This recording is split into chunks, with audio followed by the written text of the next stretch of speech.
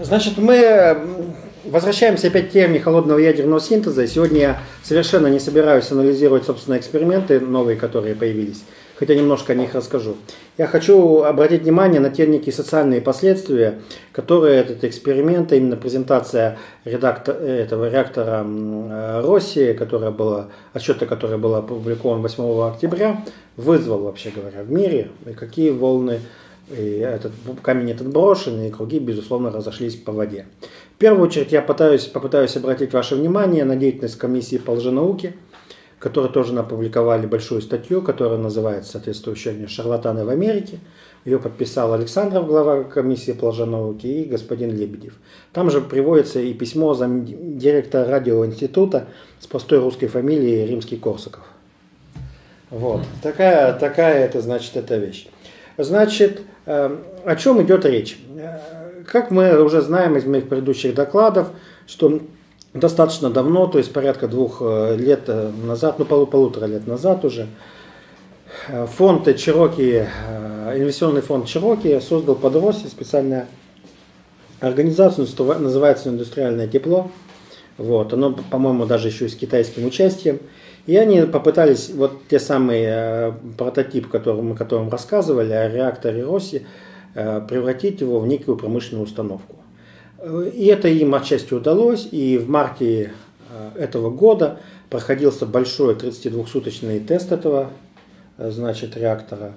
Правда, отчет о нем сильно запоздал и был опубликован только 8 октября этого года. Там что-то порядка 15 различных профессоров исследователей подписались под ним. То есть каждый занимался своим делом. Одни не мерили тепло, кто-то изотопный состав, потом не одним методом и так далее, и так далее. Значит, это э, господа, связанные в первую очередь э, с университетом Болонии и шведским опять университетом Упсала. Вот, такова ситуация. Значит, что они сделали? Они в первую очередь сняли отдельное здание, которое, отдельное помещение, которое находилось не на территории России, как в предыдущий раз, а находилось в Швейцарии. Для чего это сделано? Потому что первый раз некоторые люди говорили, что там могут быть всякие закладки, но наиболее ретивые говорили, что потолок монтирован лазер, который эту установку нагревает незаметно. В невидимом диапазоне мы не видим, а он эту значит, установку нагревает. Чтобы это исключить, оно так и было сделано. Как Росси сам участвовал в этом значит, обсуждении? Тем способом, что он загружал топливо в реактор и присутствовал при его выгрузке. Потом анализировался спектр э, значит, этого топлива. Что он из себя представляет на этот раз реактор Росси? Представляет он себя не что иное, как вот такой стержень. Этот вот стерженек такой, короче, красную шоку даже. Значит, он весит 400, вот такая вот гантелька, да, весит он 450, да, спасибо, он весит порядка 450 грамм всего. Там находится некий э, состав, его порядка всего, наверное, то ли грамм, то ли 2, 2 грамма всего рабочего вот этого топлива. Достоверно более-менее известно, что в топливо входит пол, значит, пол грамма никеля природного и что-то порядка одной десятой, нет, одной сотой грамма, э, грамма лития туда входило в него. И сюда, здесь у него есть три контакта, три контакта, и к ним под, под, подведены провода трехфазного тока. Это трехфазный ток, вот здесь, как, то количество тепла, та мощность которого не проходит, она фиксируется аппаратом специально, да, измеряется. Его мерить можно очень даже хорошо и очень даже эффективно. Там эти, значит, провода внутри, вот как бы такая тройная спираль возникает. Вот такая, там, такая, такая. И есть здесь еще специальная установка, которая генерирует эти импульсы какой-то специальной формы. Эта форма не, не говорится, потому что это как бы секрет этой самой американской конторы, конторы, а, но вот оно дело так, она происходит. Что возникает? Ну, представляете, да, что это порядка двух сантиметров всего диаметром. То есть маленькая такая керамическая трубочка. И вот он 32 дня работает. И оказывается, что он э, наработал за это время полтора мега, э, мегаватт часов мощности. Вот такая вот это. Это очень много. То есть это э, в минуту он, значит, работает от 2 до 3 киловатт. Да. да, да, не мощности, а работу он совершил. Он вырабатывает мощность 2-3 киловатта одновременно. То есть это один мощный чайник или два поменьше. У меня, по-моему, полтора чайника. То есть два таких чайника стоят. То есть вначале он в районе двух работал, потом под конец от трех. Значит, подводится топливо, ой, подводится энергия. Значит, отношение в, разли, в различное время работы получается, приведенной мощности, к полученной мощности, она 3,2 и 3,6 раза. То есть все-таки надо подводить некий интенсивный ток. И этот интенсивный ток, значит, оказывается, что а, э, дает дополнительное тепло, которое расходуется двумя способами. Первое это излучение, оно нагревается, аж светится. А второе это значит нагрев просто воздуха. И это стоят датчики снаружи, его дело считывают. Вот такая такова ситуация. Это достаточно прилично. То есть это, конечно, не айс, но это достаточно КПД прилично. КПД какой в итоге? А? КПД посчитано? Ну вот 3,2 и 3,6, да. 3,6, да. да. То есть, Если разделить там сколько получить процентов? ну, 300%. как-то да. То есть, то есть, то есть э, на, самом, на самом деле это вещи достаточно приличная, достаточно существенно. Вот, такова, значит, это, это, реакция. Значит, Россик к снятию тепла и ко всяким вот этим э, а, эм, а, измерениям допущен не был сам. Я говорю, он только загружал топливо, и потом и выгружал топливо. Значит, ситуация принципиально отличается от той его реактора, который существовал в Росе раньше. В Росе, помните, тоже был э, стержень некий такой, но к нему подводился водород. Водород. И никакого лития в топливе не было. Теперь там этот литий есть. Почему он, он есть? Это расшифровывается достаточно просто. Там теперь источником водорода является не подведенный наружу водород, а э, скорее всего литий, никель там, H4. То есть это интерметаллит. Так, о, нет, алюминий, алюминий, что я пишу? Алюминий, да. H4. Это там вот не, это так называемый интерметаллит. Почему? Это как бы такое соединение двух металлов, но в него очень можно много накопить водорода. И когда он нагревается, этот водород выходит отсюда. Но поскольку для водорода, например, для него же, он же очень маленький, для него прозрачные все стенки э, какие-то были, он с чем-то там этой смесью реагирует, и в результате вот этого излучения дополнительного расхода водорода не происходит. То есть ребятам то, что удалось им полностью сделать, это им сильно усилить и э, улучшить схему эксперимента. Вот. Такова вот, значит, это общая наша... То есть уже усовершенствование есть. Да, да, да. Он оказался проще, он оказался легче, он оказался, что тебе не надо там вот в этом стержне поддерживать э, давление, давление безопасней. Водород этот не загорится ни в коем случае, потому что в связи находится. Вот многие интерметаллиды, в том числе вот такой литий, литий-алюминиевый, часто пользуются для э, двигателей, в топливных элементах использовать предлагается, где в качестве накопления водорода нужно не бак делать, не какой-нибудь там резервуар, а делать вот именно так, а из него при нагреве получать водород. А нейтронное, по-моему, излучение еще было там? Да, значит, фиксировали параллельное излучение. Никакого нейтронного излучения, никакого гамма-излучения, кроме теплового, не обнаружили. Я считаю, что это не совсем так. Вот, например, Сергей Алексеевич Цветков говорит, что э, те э, детекторы, которые они используют, несколько недостаточно для фиксации э, гамма-излучения, вполне возможно, что оно там вполне возможно есть. Поэтому я тоже настаиваю на той простой причине, что прежде чем выпускать дома, по большому счету полезно зарядить такое устройство и поселить рядом с ним целую колонию белых мышей, допустим. А рядом поселить... Чем мыши-то виноваты? Ну, их не жалко. Что маленькие. Да, а потом этих белых мышей где-то рядом парочку колоний, которые находятся. И сравнить, как они будут себя чувствовать. Потому что мы можем там получить излучение, то, природу которого мы не знаем. Кто его знает, что там у них будет происходить.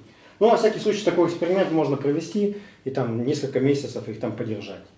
Вот. Таков, таков примерно расклад, значит. Мы видим, что во-первых, он стал гораздо более технологичным. Ну, там это одна из таких забавных технологичных условий.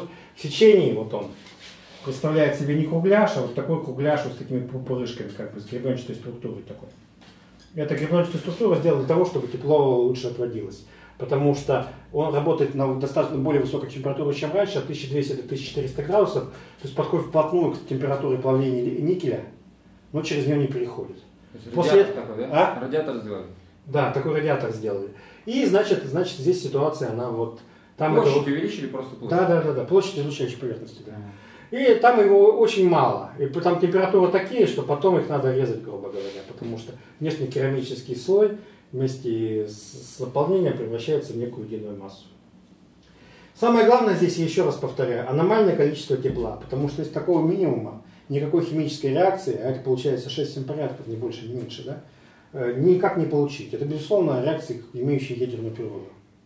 Вот. Что дальше произошло? Они его выгрузили, там появились некие дополнительные изотопы, часть. Но самое смешное, что было, что у нас уменьшилось количество седьмого изотопа лития. Он перешел в шестой изотоп лития. Странно, странно.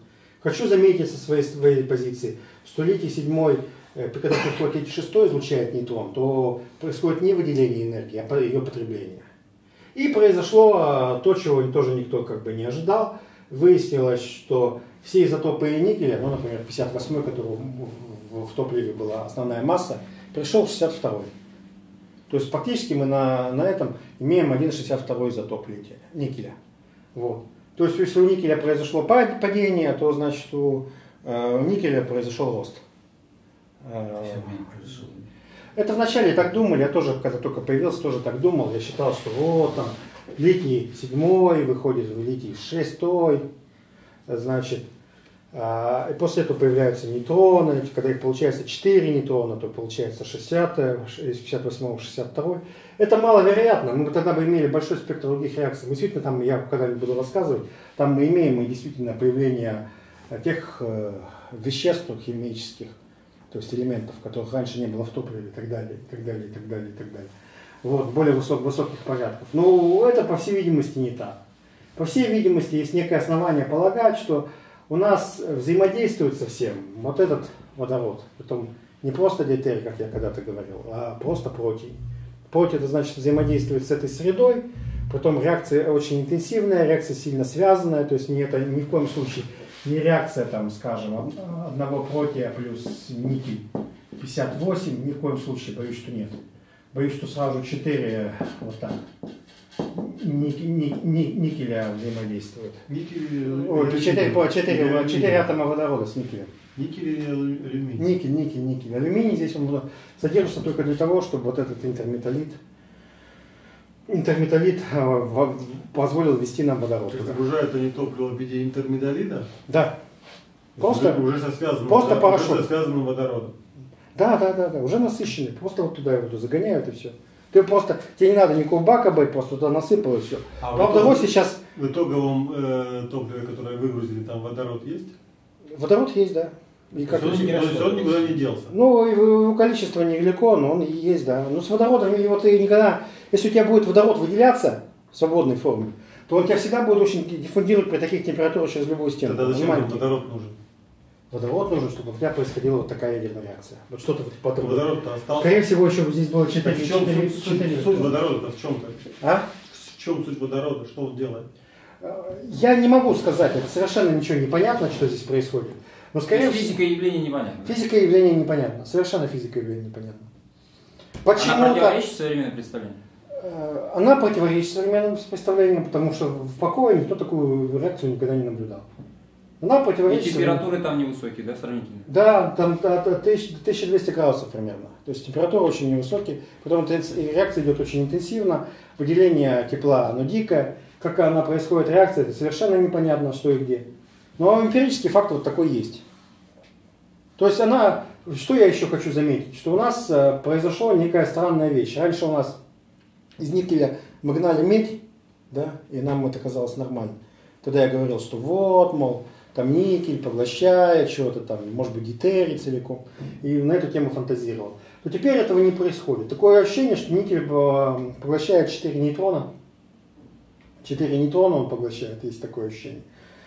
Но откуда эти нейтроны берутся, это совершенно тоже непонятно. Вопрос, зачем нам нужно электричество, если реакция идет с выделением тепла и, соответственно, сама себя поддерживает? Ну вот похоже, что не совсем, не совсем так. Есть большое подозрение, что по всего этого там возникают э, магнитные электрические поля, и нам для этого нужна электроэнергия внешняя. Импульсная какая-то. Да, то есть там, там никель содержится, почему раньше не могли наблюдать? Потому что это нанопорошок, вот такие вот звездочки с кончиком, то есть с очень высокой поверхностью. Если вы возьмешь просто слиток никеля, то такой реакции не Какое напряжение? То есть опять же поверхность большая, 380 вольт. площадь большая. 380 вольт. 380, обычный фронт.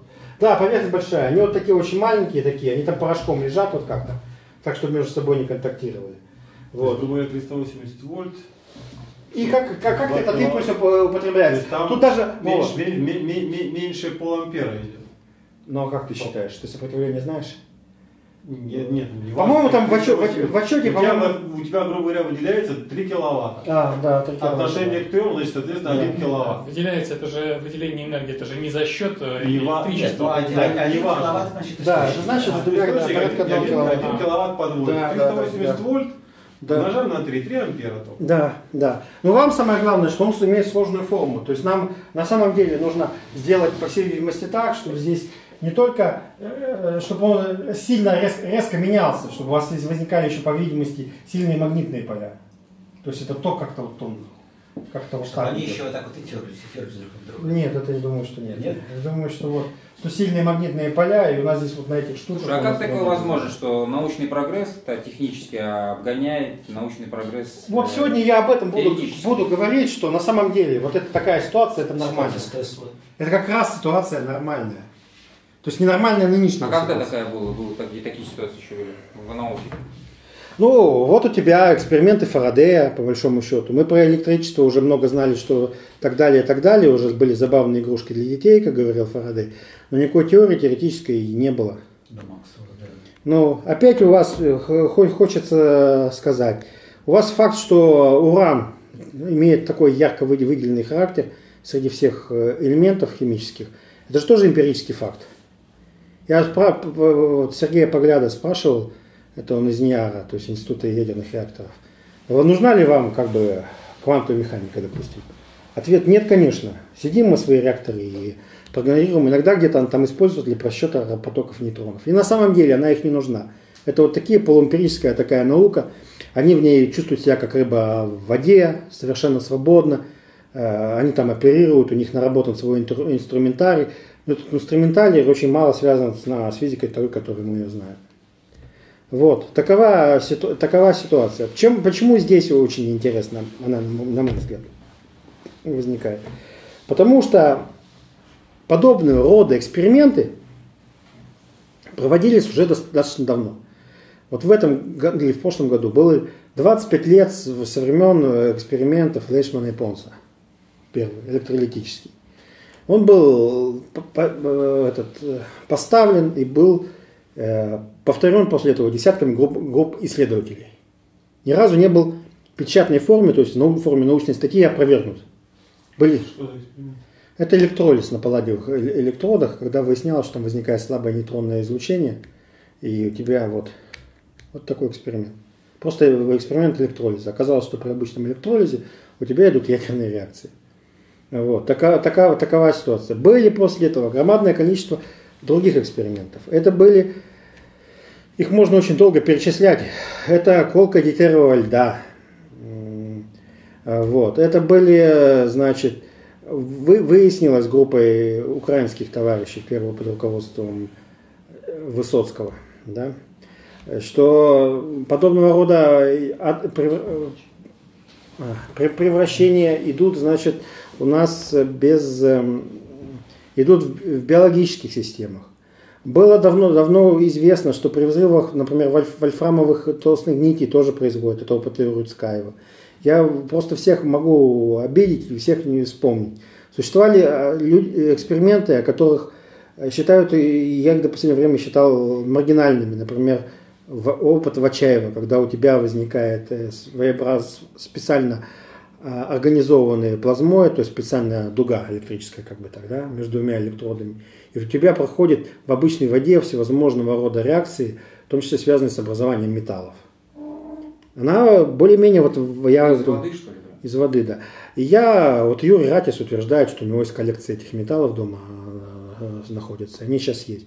Это тоже казалось бы ма- маргинальным, но вот сейчас подобного рода вещи в уни- в университете Флориды люди вполне повторяют, и у них там тоже происходит подобного рода синтез. Э, Есть опять из- изменение изотопного состава при дейтерировании титана. В первую очередь, вот, э, о котором мы постоянно говорим, о реакторе Литериева, Литериева титановом реакторе Цветкова. Вот это всякое. И это в большом количестве существует. В чем здесь э, особенность России? В том, что нам предъявлен впервые промышленный образец. Там это были всевозможные там, в сотнях модификаций. Это были просто установки, где что-то такое происходит странное. Идет аномальное выделение тепла, происходит изменение изотопного состава. Да. Это были лабораторные эксперименты. Ну, а некоторые из них более-менее, но никто из них на сегодняшний день, вот за исключением России, не продвинулся к созданию промышленного реактора. Значит, научное сообщество приняло это дело, ну, там, конечно, часть и поддерживала их, но вот с точки зрения как американских генералов науки, так и наших, приняло это резко в штыки. На сегодняшний день, например, как только это появилось, вот эта самая статья «Шарлатаны в науке» под подписью Евгения Александрова и Лебедева, связанных с тем, что шарлатаны в Америке, да, она появилась тут практически сразу же в печати. В нем говорят совершенно дикие вещи. Например, они обвиняются в том, что Росси 10 лет отсидел тюрьме. Ну, это, Это же- страшное обвинение. Ты что? Для особенно с точки зрения того, что это значит. Нет, Он не занимается чистой наукой, а занимается спекуляцией. Нет, проблема состоит, что это неправда. Какие 10 лет? Его действительно привлекали за то, что за несанкционирование, там, э, судя, судя по всему, за слив радиоактивных отходов, которые нужны были в экспериментах. Это продолжалось там в течение года. Потом это дело прекра- прекратилось, и все. Никаких 10 лет ни в какой тюрьме он не отсиживал. Да даже если бы сидел, какое это имеет значение? Ну, это имеет некоторое значение, конечно. Но тем не менее. Косвенное, очень косвенное. Что типа он обманщик. Да. Тем, те- тем, тем не менее, вот заявления строятся вот все фактически на таком это вещь, вещи. Это не может быть, потому что не может быть никогда. И что тоже, опять-таки, странно. Ну, значит, этот э, господин э, Римский Корсаков, например, говорит, что он был в Лас-Вегасе на, шоу- на шоу Копперфильда. Вот там, говорит, все гораздо интереснее, чем у России. Там человек реально летает по залу, это раз, а во-вторых, он всего за это берет 25 долларов. Ну, что со- тоже само по себе чудо просто. Э, Вот. Такова, такова, значит, это сам- самая ситуация и вещь. Смотрите, что здесь кажется чрезвычайно странным. У нас научное взаимодействие и научная информация рас- распространяется в форме научных статей. Если ты с чем-то не согласен, этот эксперимент, ты читаешь описание этого эксперимента вот у автора и ставишь свой такой же и публикуешь. Вот, а у меня здесь не получилось. Ну, сколько, сколько можно? Ну, возьмите опять это. Э, Ну, Росси ко- же скрывал. да, ну Росси это понятно, что. Но вот возьмите простую вещь, колку дитерового льда бойком. Вот берете его, ставите рядом детектор и фиксируете рентгеновское и э, нейтронное излучение. Ну вот эксперимент идет. Точно так же берете и нач- начинаем на водороживание титана и титановой губки производить э, дитерием, допустим. Вы будете тоже на определенных этапах фиксировать рентгеновское и аномальное тепловое э, нагрев образца. И также рентгеновское и слабое нейтронное излучение. Я об этом всем рассказывал. Вот. Но настоящий момент утверждение, что Росси, все остальные идеи холодного ядерного синтеза являются ситуацией, проводят только шарлатаны, все это широковещательно и э, заявляется только в каких-то форме популярных статей, в популярной газете, в прессе, на телевидении, что, где-либо еще. Почему это не производится ата- атака, не делается в форме научных статей, это совершенно непонятно. То есть было такое ощущение, что по каким-то причинам А Как, как, как, как можно опровергать что-то, не зная, что это такое? Ну, с Росси не, не, не, не очень понятно, потому что там речь идет о, о триллионе долларов прибыли. А, например, обычная э, реакция простая, вот то, что томские товарищи в 2002 году, по-моему, опубликовали, когда брали они тоже титан и делали и его дитерия, да, пол, полная. Ты берешь, значит, и у тебя происходит смена изотопного состава. Это вот такова, такова, э, такова ситуация. Возможно, просто современная наука перешла в разряд религии, веры что Я не думаю, что религии, но с другой стороны. Же? То есть, грубо говоря, у тебя проведен эксперимент. В результате этого эксперимента сделаны какие-то выводы, что Да. Ну, У тебя выводы сделаны не научные, а выводы сделаны экспериментальные. Было вещество такое, стало Это такое. Ну, это что, что, что, что? что опровергать-то? Ну проведи и скажи, что этого нет. Не, ну вот, есть на входе какая-то. У тебя холодная реакция, у тебя происходит... Как раз- с научной точки зрения это опровергнуть? Как машина это Единственное, работает? что может быть, это то, что ты Эксперимент этот тоже наука. проверил, сказал, что для- у меня это не Вот это получилось. есть. Ну Вот так и все, есть. вот и хорошо. Так вот так давай. я как эксперимент могу сказать, что типа ты неправильно поставил эксперимент. Ну так, так давайте вот. это же не научное. Так давайте эту статью-то. те- Теоретическое и только Так не нет, статью-то надо эту опубликовать, где у тебя не получилось. Ты просто взял, взял опять, берешь дитерий, берешь титановую губку, проводишь эксперимент, меряешь изотопный состав, у тебя не получилось. А, они не правы, у меня не получилось. Потом вступаешь с ними в дискуссию. Но у тебя возникает, то есть, что ты их называешь обманщиками и лжецами, не проведя собственного эксперимента. Наука. Почему, почему ты так говоришь? Потому что, почему? Это не может быть, потому что современная наука этого опровергает. Но ядерная физика это очень далека от ставшей науки. Мы до сих пор не умеем там определять две фундаментальных вещи. Первое – это ядерный спектр излучения.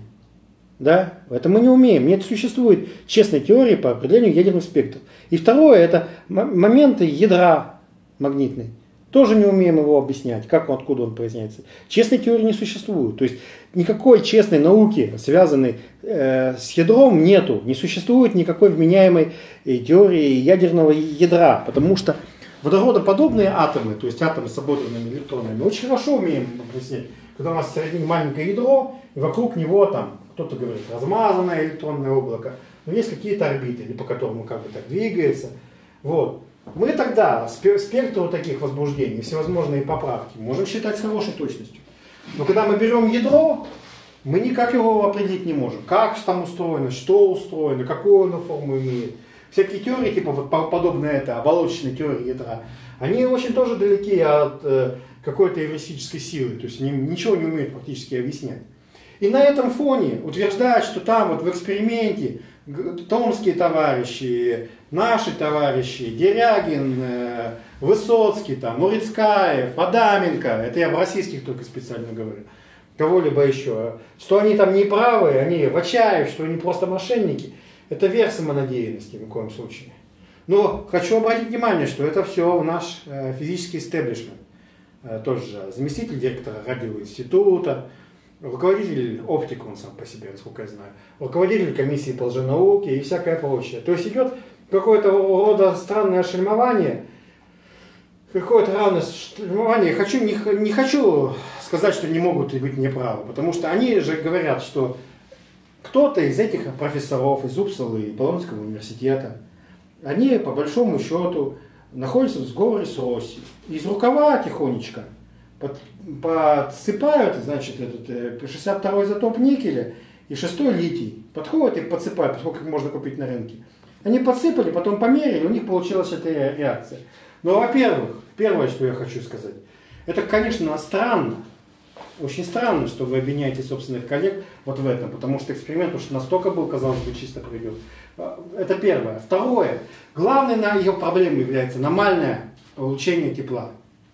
А это, то, что там происходит смена изотопного состава, и, кстати, он, между прочим, очень хорошо с астрофизическими данными э, с- согласуется. Поэтому есть полное ощущение, вот у меня, я тоже об этом как-то расскажу, что реакции именно такого сорта идут в звездах. Не эти термоядерные, которые... То есть Там температура небольшая, да? Ну вот, тем не менее, может быть и большая, но реакции идут такого, такого сорта. Вот, есть, есть, есть, есть, есть, есть такое ощущение полное. Помните, я еще вам рассказывал при... А на Солнце что происходит? Тоже Ну, так? не знаю, не А? знаю. Ну, надо разбираться. Помните, я вам еще рисовал этот график, когда спектр гамма-вспышек был точности идентичен э, спектру, полученному Адаменко в своих экспериментах группы Протон-21. Вот тоже, это тоже имеет отношение к космосу. Как бы так, э, такая, такая вот эта рода вещь. Вот. Рассказывать про эти, ну, э, человека, эксперименты которого он взял, это под соли и Факарди, Росси за основу, когда он пытался их разработать. Так Факарди не больше, не меньше, как декан э, соответствующего факультета естественных наук Болонского университета, Болонского ну сейчас уже он умер, да, Болонского, а, самого древнейшего университета мира попросту, ну, одного из ведущих, по большому счету, э, в Европе. И думать, что группа инженеров в индустриальном тепле с большой этим, э, с достаточно большим сюжетом до сих пор в Россию не вывели на чистую воду, это тоже несколько самонадеянно. Так зачем рассказывать? Рассказывать, что он 10 лет где-то сидел. Зачем рассказывать, что кто-то там из-под из рукава чего-то там куда-то подсыпает? Ну, но есть же эксперименты, которые, допустим, являются действительно лженаучными, которые поставлены с единственной целью, как бы, чтобы там что-то с- для себя, какие-то преимущества. Да, вот они так и говорят. Но есть же такие эксперименты. Они так и, так и говорят, что Нет, я не говорю про этот эксперимент, я говорю, такие бывают да, эксперименты? такие эксперименты бывают, но тем не менее, это, как правило, единичные эксперименты, связанные одной группой. Здесь мы имеем С, целый, целый с поток. глобальным потеплением там уже и Да. было выявлено, что там были подтасовки. там. Да, у нас здесь вот это, это, это, это очень, очень странно. Но вот я хочу обратить ваше внимание на, на другой аспект. Вот э, Сергей Алексеевич нам э, говорит следующую вещь, что надо, э, что эта ситуация похожая на ситуацию, связанную с лампами и полупроводниками. То есть первоначально вся вычислительная техника всевозможная, она развивалась на ламповом принципе. Это было известно по большому счету с 80-х годов 19 века. И тихонечко там вакуумные лампы и так далее. И они развивались в этой парадигме долго-долго-долго. А потом выяснилось в 50-х годах, что другой путь, когда аналогичные эффекты можно э, получать и на гораздо меньших энергиях, и самое главное, с- гораздо меньшими масштабами, ну просто гораздо. Тогда получился бо- большой, большой эффект. Притом они эту полупроводниковые вот эти эффекты, по большому счету, уже в 90-х, в нулевых годах и 19-го, начала 20 века могли получить. Но тем не менее от них по каким-то образом уходили и на них не обращали никакого внимания до 50-х годов, когда произошел взрыв в полупроводниковой технике. Вот, такова наша ситуация. Вопрос можно? Да, Или вы не закончили? нет, ну можно вопрос. А вот вы сказали это, что промышленный экземпляр, да, или Да. опытный экземпляр. А съем тепла каким способом производится? Ну вот он промышленный, пока вот это один из элементов нагревательным. Не знаю. Значит, на форуме специальном они обсуждают вопрос, что у кого-то там из них есть термопара, работающая на 50% КПД. Тогда это работать здесь можно. Вот подобного рода Как термопара? Чем термопара? Ну, Нет, термопара- я, я спросил, чем снимается тепло. Вот если это- Ничем в эксперименте, в эксперименте или в промышленном Вот, использовании? вот, вот вы нарисовали снимается? источник тока и... А, здесь используется беру- дистанционно, бер- берется, меряется температура, участок разбивается на разные участки. Чем По ним, по ним по- по- Чем э, выносится тепло? Я понял, Ну как, что вы вот- Оно нагрелся, светит, оно как Оно, да, оно Светит. двумя способами. Первое, нагревается воздух окрестный. И второе, просто излучение. Оно светится как лампочка. То есть лампочка светит и греет. Вот она тоже они светит и греет. просто Они это берут дистанционно. А, так это, то есть небольшая мощность, вот это полтора Ну, чайник. мега- Чайник, чайник, Два чайник. чайника. Это значит, Два чайника на ста- входе, а На выходе два На чайника. выходе. На выходе два чайника. на выходе два чайника. Ну, на входе Ну нарисовали давайте как 2-3 все понятно. Как Нет, это на выходе. Ну, неважно, как что Да, это не важно. Говорю, Это просто речь идет, это значит комната достаточно большая, может быть, метров 40. В ней, значит, э, стоит металлический стол, ножки его изолированы резиной. На этом ну, ножках вот лежит вот такая штука с проведенными проводами. Прямо напротив нее находится большое количество столов, где большое количество исследователей, несколько, а- оборудовано всевозможными родами э, с, э, приборами по измерению дистантным образом температуры образца, гамма-детекторами, детекторами нейтронного излучения. Всем это у них на столе вот так расставлено. Фотографии этого есть. Я сам там не присутствовал, да. А, Вот, а, значит, Святым духом. да, а, святым духом, да. Значит, вот, эти фотографии так есть. И вот они стоят за этой установкой, как она работала, наблюдали в течение 32 суток. 32 суток. После этого она была это распилена, и из нее было вынуто это тепло. По всей видимости, есть основания, что в дальнейшем, если будет ее промышленная эксплуатация проводиться, то это вот эта промышленная эксплуатация будет целиком меняться для стержня. Это просто он 400 грамм весит. Ну просто вот такой, простой. То есть какой-то срок, расчетный срок. Да, какой? да, да, да. Ну Неизвестно. говорят, что был эксперимент по полугода, но что-то мы по нему пока еще не видели. Полгода вот такая штука может работать. А Как? по цене? Ну, копейки. Копейки, да? Ну, копейки, Ну, конечно. копейки. Не- Ну, понятно, да, ну, когда ну, у вас там полграмма никеля э, столько дало энергии. То есть в магазине будут продаваться такие штуки, да, как бы, Ну, скорее- заменять скорее как лампочку. Да, ты как Да. лампочку заменяешь. Нет, ну, значит, в чем, как, вот вопрос по поводу, как снять, снимать промышленное тепло. На сегодняшний день электрически замкнуть его трудно, потому что коэффициент 3,2 и 3,6 это невыгодно. Вы можете греть им воду, из нее воды превращать пар, потом, значит, вращать турбину, но это будет такое, невели- невелика. Хотя у Оси в отдельных экспериментах где-то ну что там коэффициент из 7. Ну это только на словах только. Значит, пока как она может использоваться? Она может использоваться в качестве нагревательного элемента. Да. Сидишь на там, Кипятильник. да, Нет, ну почему? Так помещение. Ну, да, как кипятильник, да, в любом да, смысле. как- Да, просто это вот та- такова, такова. У тебя где-то есть, допустим, или дизель-генератор, или электрической розетки подключен, у тебя есть ток, и ты можешь отапливать это помещение с коэффициентом 3,6. То есть у тебя возникнет сильная экономия по электроэнергии. Вот и все. Ну, еще, но еще раз повторяю, вначале, конечно, надо изучить поведение белых мышей хотя бы. Биологическое. Би- А биологическое. белые мыши против. Почему я это говорю? Потому что у Рыцкоев на своих, в своих экспериментах они э, обнаруживали некоторую частицу излучения, которую они э, идентифицировали как дираковский монополь. Да. И они в этом направлении думают. Вот в этом смысле работают. Ну, по ее поведению. Это тоже как бы так не подтверждено, но они в эту сторону. Поэтому они вот пытаются взаимодействовать с французским э, физиком-теоретиком русского происхождения Жаном Лошаком. Или Лошаком. Лошаком, наверное. Он хорошо говорит по-русски, кстати. Вот, в, это, в, это, в, в, в, это- в, этом, в этом направлении. Так а только наши ученые выступили против, или также есть и какие-то западные? Знаешь, в Западе уже никак. Через, значит, рассказываю дальше ситуацию. Через три недели соответствующий итальянский центр, который связан с атомной энергией, прибывает лично Билл Гейтс. Встречается там с народом, поскольку эти эксперименты не только Росси проводили, а Росси просто как бы довел до промышленного уровня, и пообещал ребятам миллиард долларов из собственного кармана на проведение всех этих, этих вещей. То есть народ посуетился. Вот Сергей Алексеевич мне прислал ссылку. Знаете, э, есть такая премия «Глобальная энергия», которую Алферов получал. Но у нас же, она же, вы понимаете, что это же, по сути, российская премия, но она же не может получаться в России. В этом году она получалась в Сингапуре. Вот. И там наш русский э, профессор, его не помню фамилию, это был репортаж на НТВ в конце. Сам, э, вначале, вначале был заместитель министра топливой и энергетики, который рассказывал, что нефть это здорово, что нефть это хорошо и так далее, что у нас идет нефтяной век. А после этого выступил и сказал, что вот появились установки принципиально другого уровня, другого поколения, т.д. и т.д. и т.п.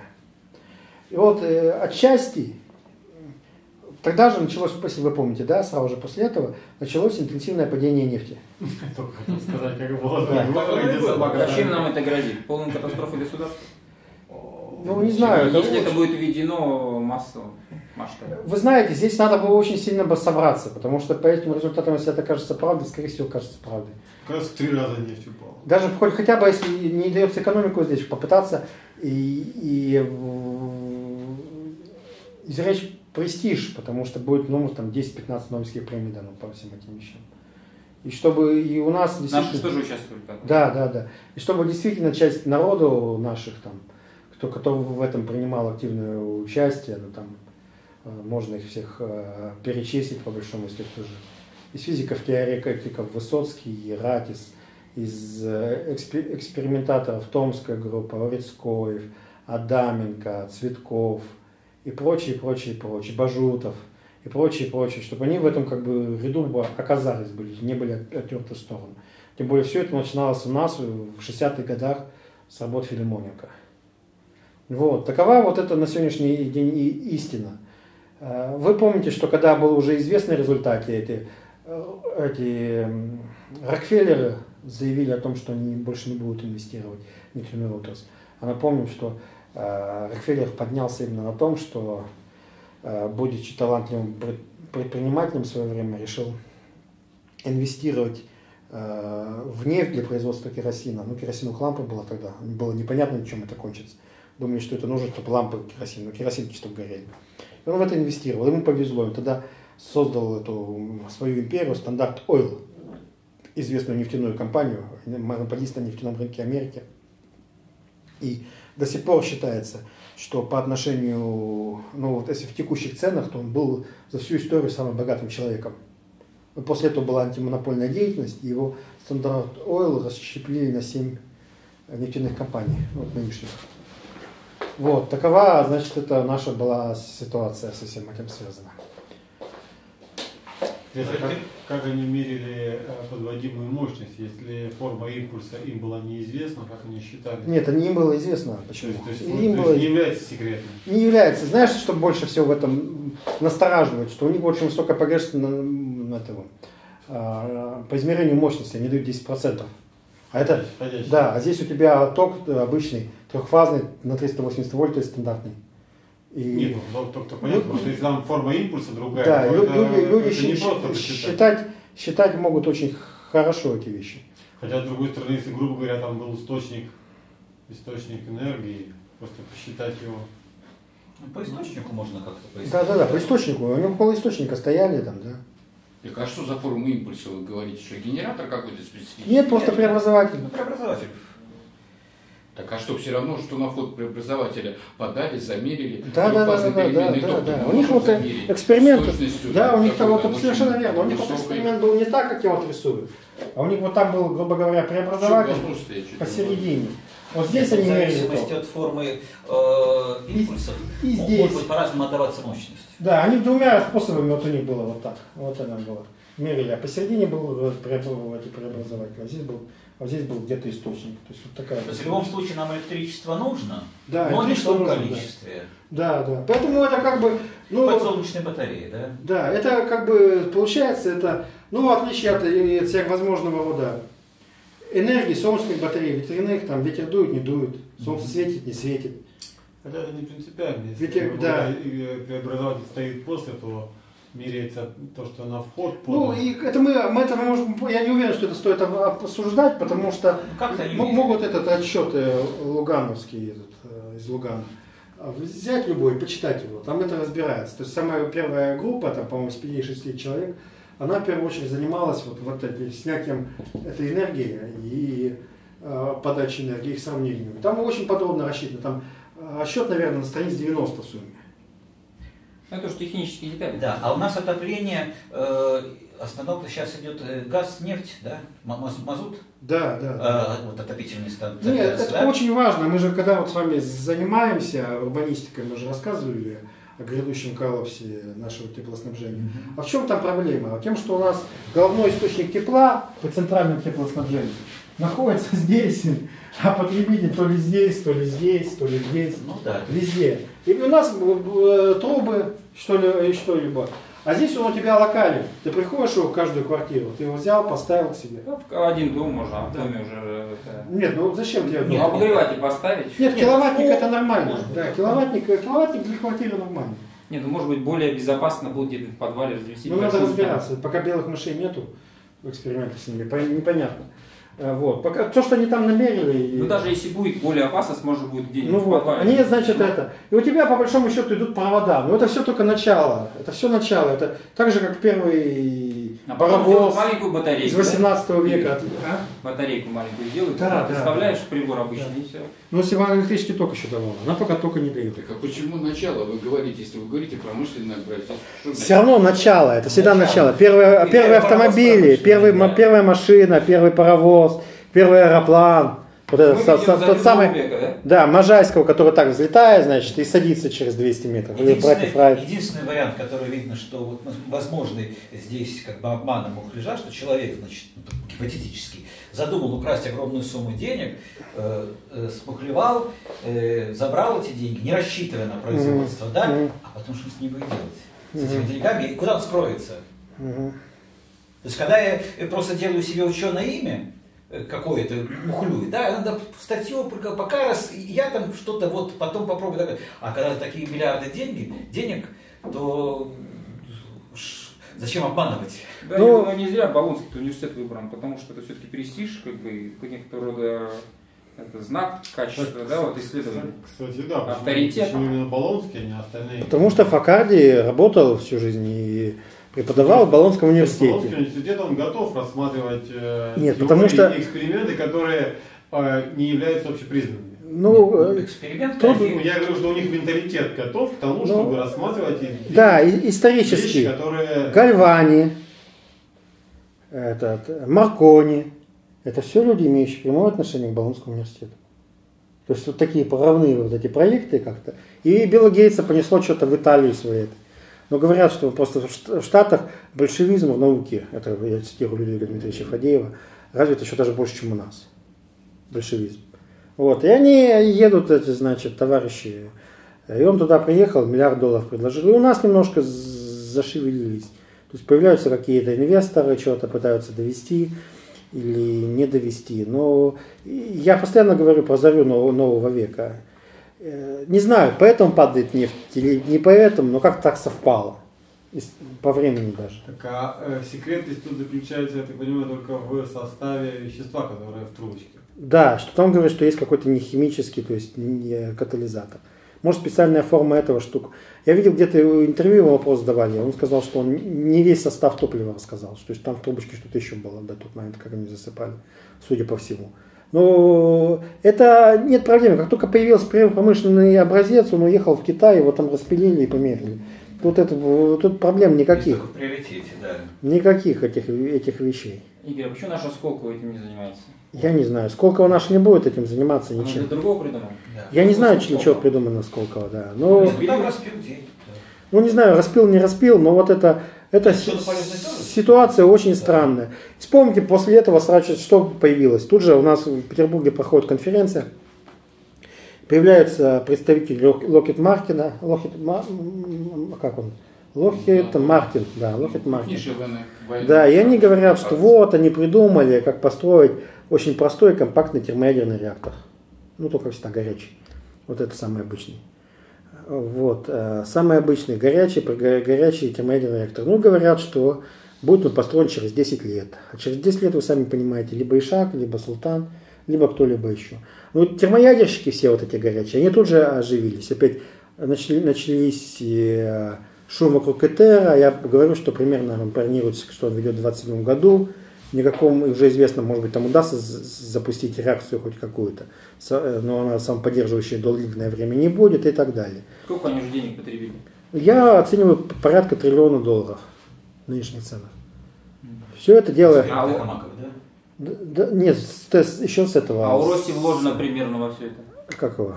А? У Росси вложено. Стеллера еще, Стеллера 40 года. А? А у Росси в проект сколько вложено? Значит, Росси вложил в это дело 2 миллиона евро, продав собственный дом. Ну, и соизмерять, да? Да, он продал собственный дом, потом первую установку, которая у него в контейнере, там, у него купило какое-то ведомство, есть подозрение, что это военно-морское ведомство США, за те же 2 миллиона евро. То есть он остался, по крайней мере, при своих.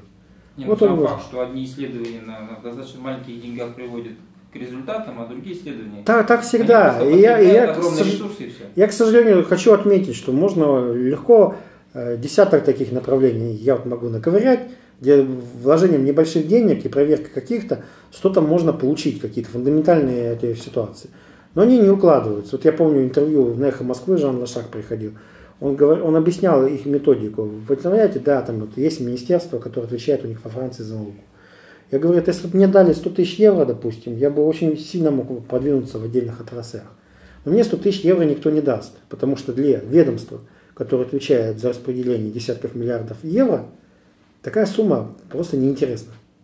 Она ему не нужна. Ему нужны э, большие глобальные эти, э, проекты.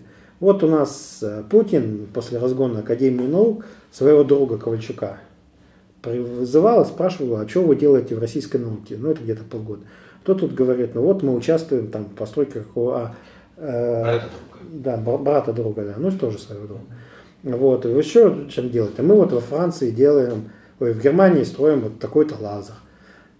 Ну, а строим. А что еще? А вот во Франции мы строим, значит, это реакторе ТЭРа в нем активно участвует. А еще где? Ну, еще где-то что-то делать. В ЦЕРНе мы принимаем участие. Вопрос, а что так далеко-то?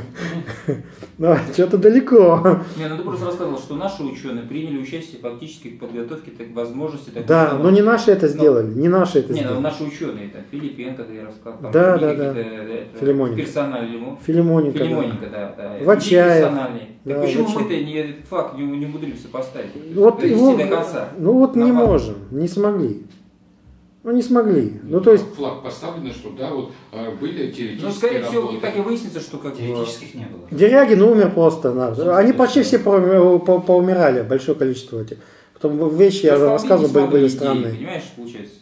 Не смогли. Не, сможем мы извлечь из этого никаких дивидендов. Не сможем. Но И еди- единственное, до того, что... что какой-то ре- реакционного рода статьи пишутся, да, поэтому. Да, да, да. Где обвиняются э, достаточно уважаемых людей в подделке. Статья обвиняют на, на наших ученых, нашим ученым написали статью, обвиняют. Да, обвиняют. да. Александров, Лебедев. А не западные. Западные не Нет, обвиняют. западные, ну вот э, римский Корсаков, да, римский Корсаков говорит, что у него есть э, коллеги в Америке, которые тоже к этим экспериментам настроены достаточно скептически.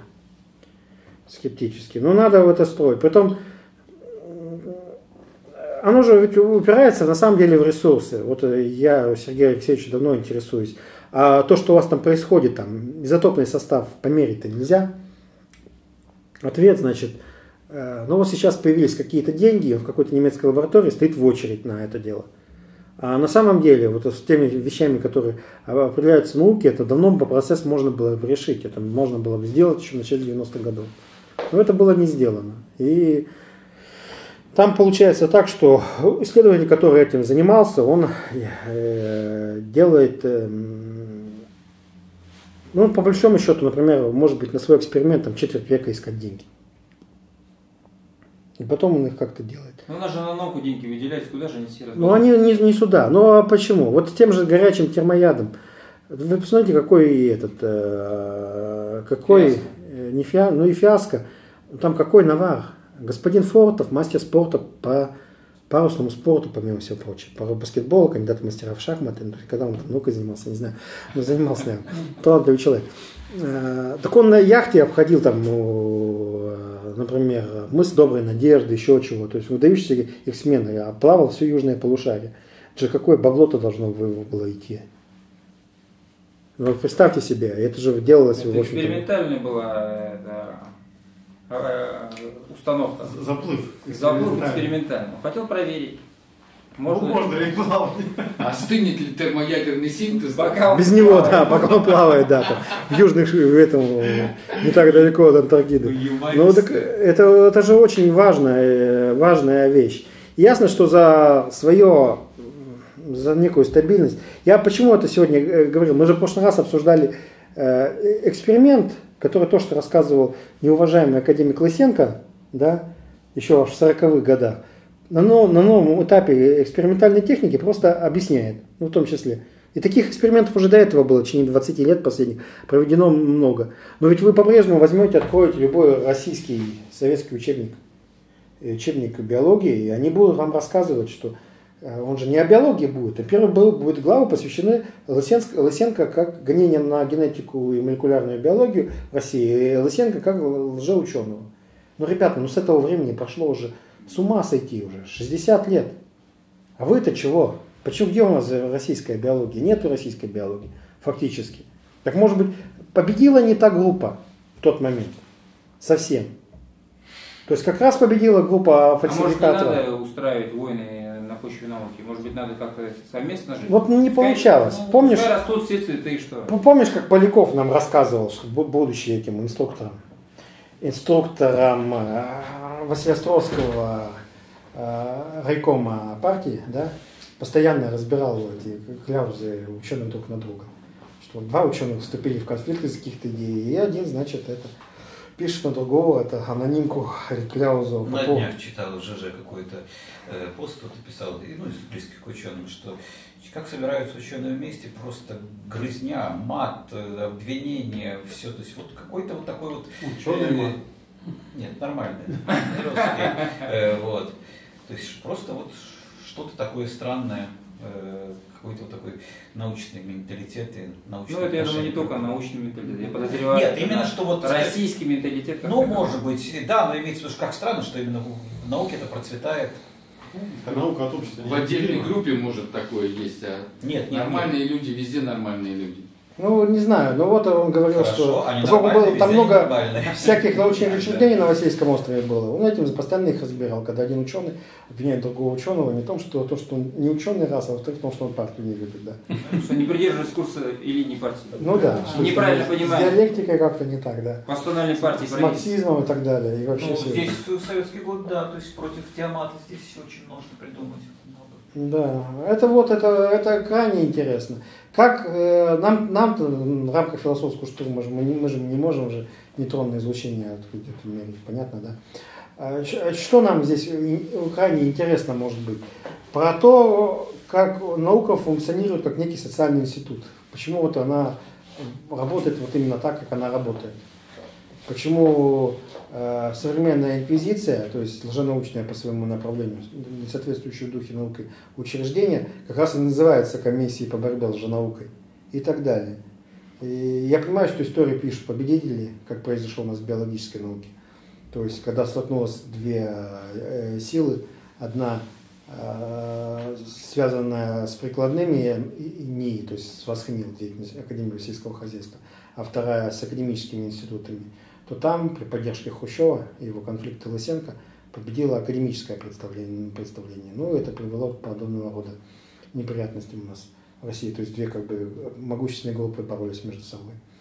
Вот. Ну, как вообще... любят прибегать к силовым методам Правда, решения насколько я проблем. понимаю, ведь на Революционным силовым методом. Насколько я понимаю, на Западе там же тоже эти висманисты, морганисты возобладали. Ну, как бы там же наоборот, биология расцвела пышным Да, цветом. да. Но там не было этого, поэтому там никакой борьбы с Лысенковщиной не было, да. Там не было, там не было Лысенко. Не было, не, не было. Там не с кем было бороться. Да. Э, Ну, в современном положении в биологии все-таки это маргинальное направление осталось и на Западе. Э, Какое? То есть, ну, сейчас начинается эва-дева, э, чуть-чуть направление, вот которое, ну, неоламракизм. А, Э, ну, вот, но сейчас все-таки синтетическая теория эволюции э, общепризнанно Вот. считается Нет, значит- э, мейнстримом, то есть и только, только вот некоторые эксперименты э, опровергающие, ну, то, то там, там появляются, но теоретически... э, Да, я, значит, чего для себя с интересом узнал. Вот оказывается, почему Кевендишская лаборатория в различных областях, в различные годы она была на коне. В том числе, например, там была открыта ДНК, да, Кевендишская лаборатория, бывшая физическая лаборатория. А как это у них происходит, оказывается? У них, когда поколение, то есть старый руководитель лаборатории уходит на пенсию, то его берут не из его учеников, как бы пытались сделать, а приглашают какого-то ученого со стороны. Так произошло, что Кембриджская лаб- и он подбирает под себя принципиально новый коллектив. Так получалось, что из, эм, из физической лаборатории в какой-то момент ее перекинули на биологическую науку. У нас в России, оказывается, в царское время тоже было все замечательно здесь организовано. У нас оказывалась такая вещь, что если человек делал карьеру и доучился до звания профессора, практически до профессора и заведующего кафедрой в Санкт-Петербургском университете, то он не мог там занять ее кафедру. Он приходил в какой-нибудь там институт, институт физиологии, там какой-либо еще, структуру Академии наук. А они на эту кафедру брали профессора уже оттуда или откуда-то из другой, со стороны. То есть прямой вот рост нынешний у них был запрещен, когда ты э, поступил в университет, закончил там аспирантуру, растешь и дорос до куда-то. Он был, просто у него было негласное это правило такое.